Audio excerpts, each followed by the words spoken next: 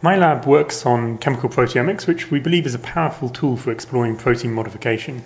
Uh, I'm going to talk about a few of the aspects of this work from my lab.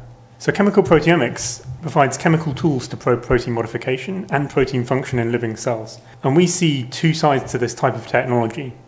One side is used to explore protein post translational modification, or PTM, where we take chemical analogues of those modifications and feed them to cells we can use it also on tissues or even in whole organisms. And the idea is that then those analogues are transferred to their target proteins by the same transferases that would transfer the native modification.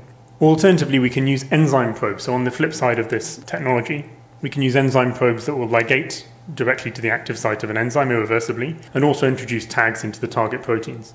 And with these tags in place, we can do what we call a chemoselective ligation reaction. So, this is a reaction that's unaffected by all of the other components of the cell and react specifically only with the tag that's been introduced either through modification by a transferase or through ligation at the active site of an enzyme. And that gives us access to a large number of handles that otherwise would not be accepted by the machinery of the cell, allowing us to do things like imaging or identification and quantification by, for example, mass spectrometry.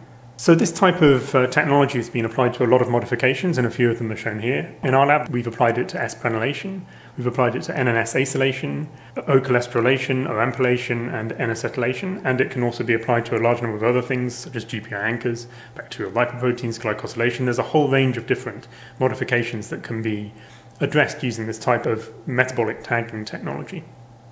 So the way that this technology works in outline, I've shown the example here for something called myristylation, which is the transfer of uh, C14 fatty acid to certain target proteins. The way this experiment works is we take one of our analogues, in this case I've shown YNC12. This is a compound that has a triple bond at one end of the molecule, this, this shown in red, this triple bond, which just replaces the last single bond in myristic acid. Otherwise it's very much the same sort of molecule. We can feed it into cells. It gets activated and incorporated metabolically inside live cells, so it gets converted into a thioester, which is the active substrate for the enzyme, the N-myristyl transferase. Once that's been incorporated for a certain period of time, we can lyse the cells, recover the proteins that have picked up this alkyne, and the theory is that the alkyne, this chemical tag, will only end up on proteins that would otherwise be modified by NMT. We can then undertake this chemoselective ligation reaction. We typically use a reagent that has a chemical moiety, this N3 or azide moiety for cross-reacting with the alkyne under very specific conditions. And a dye, so in this case TAMRA, so we can see things by fluorescence, and also biotin to act as an affinity handle. We can then perform a pull down on magnetic streptavidin beads, for example, and isolate the proteins that have been tagged, and therefore the proteins that were myristylated or would be myristylated, and wash away all the things that we don't need for the analysis, and then we can analyze just the myristylated proteins by this methodology. This works very nicely. What I'm going to talk about here is a more advanced approach to this problem. We've worked a little bit on this protein called sonic hedgehog. This is a very important signaling protein that has essential roles in human development, mammalian development in general, and also in cell proliferation, and it tends to be dysregulated in a large number of cancers, promoting a proliferative phenotype. So this protein is rather special in that it carries two different modifications, one at each end of the protein. On the N terminus, it picks up a palmitate motif linked through an amide on, on the N terminal amine, which is transferred by an enzyme called hedgehog acyl transferase. On the C terminus, it picks up a molecule called cholesterol, which is another type of lipid, which it picks up through an autocatalytic cholesterolation reaction. So part of the initial sonic hedgehog molecule actually catalyzes its own removal from the protein whilst using cholesterol as a substrate. So it's a type of protease, but instead of using water to hydrolyze an amide bond, it uses cholesterol to form a new ester bond at the C terminus.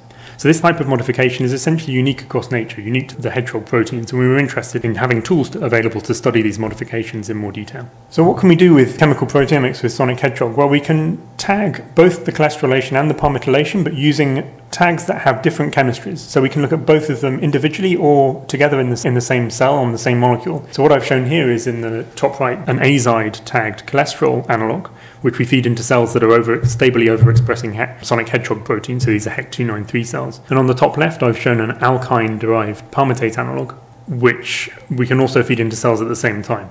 So when we have both of these analogues being fed into cells that are overexpressing sonic hedgehog, the idea is that they will both be incorporated into the target protein, much as cholesterol and palmitate would be. We can then ligate these to two different colours of fluorophores using complementary chemistry. The one shown in red addresses the cholesterol motif, so this alkyne with a red fluorophore on, and the azide, the blue one with a green fluorophore on. Addresses the palmitate motif. And you can see uh, schematically down the left exactly how this is working. We end up with an azide derived cholesterol on the C terminus and alkyne derived palmitate on the N terminus of the protein. And these can be modified in different colors using this type of selective ligation chemistry. And on the right, I've shown how we can use that to detect sonic cholesterolation inside cancer cell lines that overexpress sonic hedgehog. So it's useful for actual detection of cholesterolation in those cells, but also multiplex detection in the bottom right, where we've clicked with these two different colors of fluorophore.